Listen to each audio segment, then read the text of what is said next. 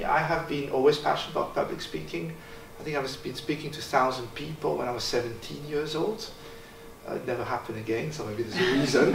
I don't know. Uh, I was passionate about being on stage, but I realized I have something, I need to something to say.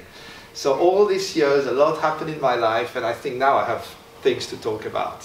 So that's my, my journey of, uh, of public speaking. Uh, yeah, it's learning, growing. And I think we are all in that together.